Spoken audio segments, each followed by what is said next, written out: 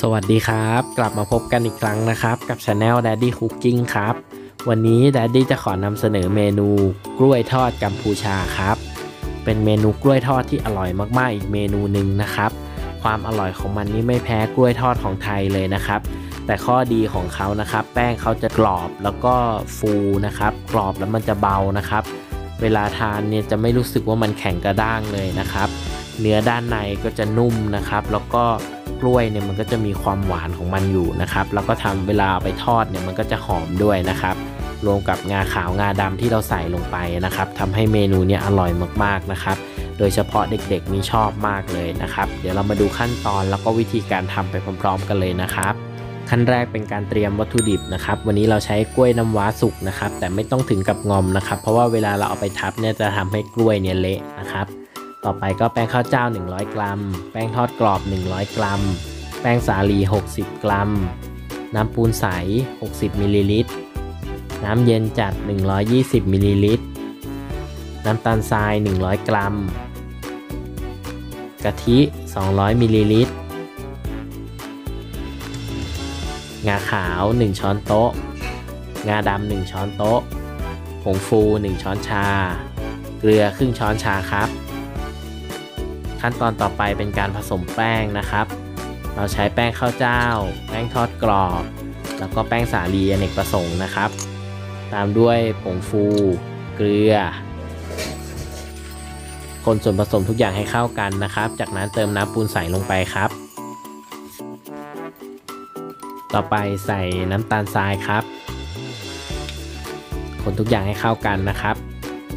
จากนั้นเติมน้ำเปล่าเย็นจัดลงไปครับ น้ำเปล่าเย็นจัดนี้นะครับ จะทำให้แป้งเนี่ยกรอบนานนะครับ จากนั้นเราก็เติมกะทิครับ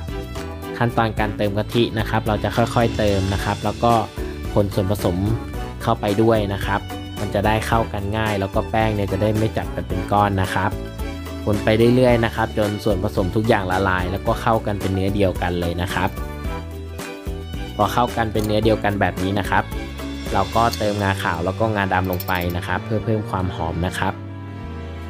เท่านี้ก็เป็นอันเสร็จเรียบร้อยแล้วนะครับ เดี๋ยวเราพักแป้งไว้ก่อนนะครับ ขั้นตอนต่อไปนะครับ ระหว่างเราจะไปทำกล้วยนะครับ เรามาตั้งน้ำมันรอทิ้งไว้เลยนะครับขั้นตอนต่อไปเราปอกกล้วยก่อนนะครับ วันนี้เราใช้กล้วยสุกนะครับ แต่ไม่ถึงกับงอมนะครับ เพราะว่าเดี๋ยวเราจะมาผ่าครึ่งนะครับ แล้วก็เอามา ทับให้เป็นแบนๆนะครับ ถ้าเป็นกล้วยที่งอมเกินไปเนี่ยมันจะทำให้เละได้นะครับ กล้วยนี้วันนี้เราใช้ประมาณ 10 ลูกนะครับ พอผ่าครึ่งเสร็จแล้วนะครับ เราก็มาวางบนถุงพลาสติกแบบนี้นะครับ ถุงร้อนแบบนี้นะครับ แล้วเราก็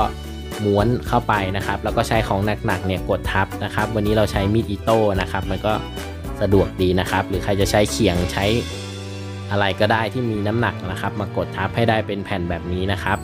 จากนั้นเราก็วางลงใส่ในน้ำแป้งเลยนะครับ พอน้ำมันร้อนแล้วนะครับ เราก็นำกล้วยที่เราชุบแป้งเนี่ยลงไปทอดได้เลยนะครับ พอด้านหนึ่งเหลืองแล้วนะครับ เราก็กลับด้านอีกด้านหนึ่งนะครับ ขั้นตอนนี้นะครับ กล้วยเนี่ยมันจะฟู